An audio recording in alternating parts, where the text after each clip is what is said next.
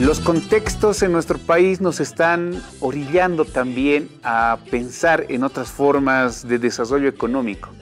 Y uno de ellos es la economía naranja, aquella que permite a los pueblos ser parte de las mismas a través del turismo. Para este tema hemos invitado a Iber Flores, que es viceministro de Turismo, una persona que nos va a, nos va a explicar en qué contexto estamos sobre este tema. Querido hermano, buen día. Bienvenida al tape.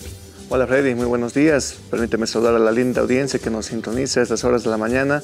Reciban un cordial y sincero saludo a nombre del gobierno del pueblo, Luchi David. ¿no? Querido hermano, ¿cómo tenemos que comprender el turismo en la actual situación? Bien, eh, la industria sin chimeneas, como te decía, la economía naranja y bueno, muchos otros términos hacen referencia a este sector tan estratégico y bueno, ha sido olvidado por muchos gobiernos, sin duda alguna. Bolivia tranquilamente podía vivir del turismo, pero ha sido un descuido porque nosotros ya tenemos 87 años de institucionalización. Hemos nacido como una dirección de turismo dependiente del eh, Ministerio de, Prensa. Y bueno, hemos ido pasando a distintos ministerios, entes rectores, entonces claramente nos podemos dar cuenta de que no ha habido un horizonte para el turismo en Bolivia. Y bueno, es por eso que nuestro gobierno de eh, hermano presidente Luis Arce de Bicho Quehuanca justamente están haciendo mucho énfasis en la reactivación y en la promoción del turismo, eh, desde, muchos, eh, desde muchos enfoques, ¿no? por modalidades, modalidades de turismo, aquellos municipios que ya tienen esa vocación turística, aquellos lugares, destinos también que están emergiendo en turismo. ¿Cuánto representa eso, querido hermano, eh, en, dinero? ¿Cuál es el movimiento que Bolivia genera respecto, respecto al turismo? A ver, la gestión pasada 2023 eh, hemos registrado un movimiento económico de 835 millones de dólares, eh, producto del, flujo del turismo receptivo. ¿no? Eh, bueno, entonces hemos recibido un millón de visitantes. nuestra mejor época en Bolivia ha sido el año 2019, donde hemos registrado más de 1.2 millones de visitantes. Y bueno, son cifras pre-pandemia, ¿no? La proyección para la gestión 2024 es superar esta cifra, es decir, Bolivia tendría que superar la cifra del flujo del turismo receptivo más alta que ha tenido, ¿no? Esa es, esa es la meta para este año. ¿En qué sector del turismo hay que potencializarlo, eh, por potencializarlo más para que tengamos un turismo, entre comillas, de alto nivel? Eh, hay que atacar mucho al tema de la calidad y la seguridad de nuestra oferta turística, ¿no? Es muy importante que nuestros destinos, nuestros mismos operadores de turismo, hablamos de guías, agencias de viaje, operadores de turismo, el sector gastronómico, hotelero, brinden servicios de calidad ¿no? a nuestros visitantes extranjeros, también nacionales. Es una de las falencias que tenemos en uno de nuestros primeros destinos principales icónicos de Bolivia y de Sudamérica, que es el Salar de Uyuni. Eh, sin embargo, ahora estamos ingresando con el tema de eh, sensibilización, capacitación en nuestra gente que está allí. Estamos ingresando en diferentes municipios a través de un programa PEDUL. Justamente ahora están yendo al Perú a capacitarse. Eh, parte del gobierno municipal más los emprendimientos privados, una delegación importante. Entonces, de igual manera, estamos ingresando con tema de inversión en infraestructuras turísticas en Salar de Uyuni. ¿no? Es un plan grande que se está desarrollando como un primer eh, enfoque, digamos, a ese destino que es principal. Pero... en, esta, en este contexto que, me indicas de la, de la, mejora de los servicios, eh, el turismo efectivamente es una alternativa real para las comunidades, pero también para los emprendedores que están en el rubro eh, de generar nuevos ingresos y así también eh, dinamizar la economía. Así es, mencionabas a las comunidades, bueno, Bolivia es el mejor destino cultural y natural del mundo. Vale decir que nuestros mejores destinos de Bolivia no se encuentran en las ciudades, ¿no? se encuentran en las provincias, en las comunidades. Y bueno, eso hace decir que nuestras comunidades tienen un papel fundamental en el desarrollo del turismo. Y bueno, estamos trabajando en el turismo comunitario y en los emprendimientos de base comunitaria, que es una cosa muy distinta al turismo comunitario. ¿no? Entonces, de la misma manera estamos trabajando con esos emprendimientos como son en, Sajama, tenemos también los Uruchipayas, en, Oruro. Son emprendimientos en los que las autoridades originarias ah, juegan el papel como el gerente general, hablando de, esta manera. Por ejemplo, hablando de las áreas de las provincias, Eh, ya sabemos que el Viceministerio de Turismo está apoyando también, por ejemplo, el Irupanapente que se va a desarrollar en estos días. Así es, eh, Irupanapente, los hermanos afros están presentes justamente este 12, 13 y 14 de julio en el municipio de Irupana, en coordinación con nuestro hermano alcalde también.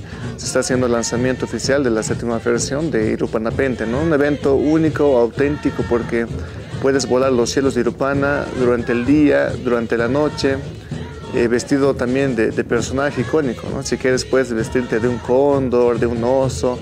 Y bueno, son eventos que la población boliviana lo puede realizar sin ninguna experiencia. Para para que ustedes puedan volar por los cielos simplemente necesitan tener la predisposición nada más. Me indica que también van a llegar otros pilotos, vamos a llamarle así, de otros países, ¿no?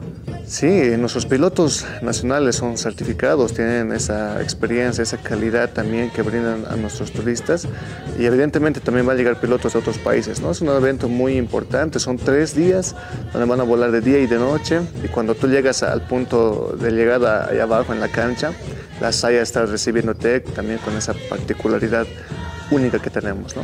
Y el Viceministerio de Turismo... Eh, a veces piensa la gente, no, eso es del pueblo, ellos lo, han organizado, pero ¿cómo eh, ha trabajado el Viceministerio de Turismo para también coadyuvar y coordinar este, esta actividad?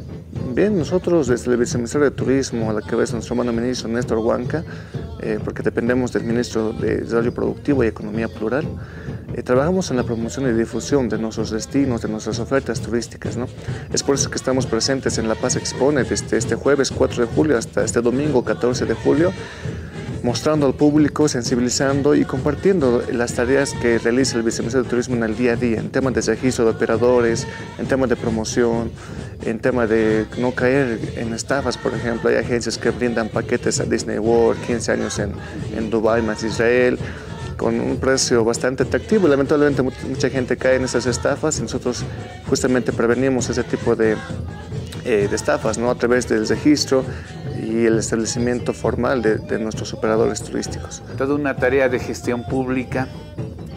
Gracias querido Gilata Iber para irse dando la entrevista. Por favor, eh, invitaremos a nuestros hermanos y hermanas del país y también de otros países a que sean parte del Irupanapente. Sí, hacemos la invitación pública una vez más a todos nuestros hermanos y hermanas bolivianos que pasen tiempo con la familia, con los amigos, con los seres queridos y puedan llegar hasta el municipio de Rupana. Es un municipio que tiene todas las infraestructuras y cualidades básicas que ofrece un destino, como ser hospedaje, gastronomía, Van a también estar nuestros operadores de turismo, agencias de viaje, y van a poder visitar distintos destinos que Urupana y los municipios alrededor también ofrecen. ¿no? Esto hace que nuestra economía del sector se dinamice bastante y bueno, es una cadena amplia, ¿no? Desde el transporte turístico, nuestros hermanos guías, nuestras hermanas agencias, el sector hotelero y bueno, todos se mueven por esta actividad, ¿no? Entonces ese tipo de eventos lo pueden encontrar en, nuestra página web del Viceministerio de Turismo, eh, toda la oferta que tenemos en esta vacación de invierno a nivel nacional, organizada por distintos municipios, eh, también comunidades a nivel nacional. Eh, el país de Bolivia es demasiado bella para no poder recorrerla, tanta diversidad en oferta turística que tenemos, simplemente es necesario recargar un poquito, yo les invito a conocer una nueva cultura, una nueva gastronomía, un nuevo plato en estas vacaciones de invierno.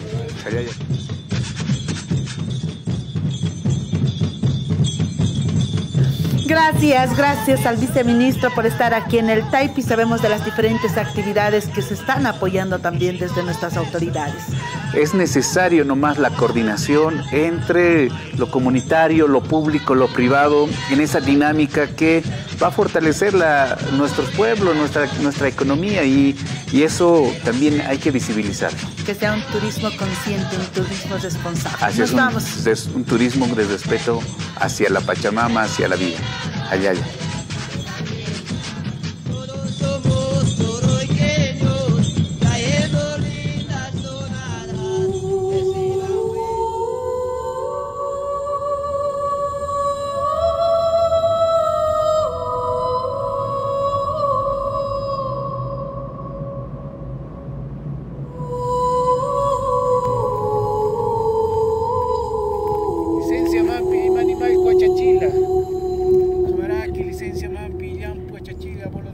Bing.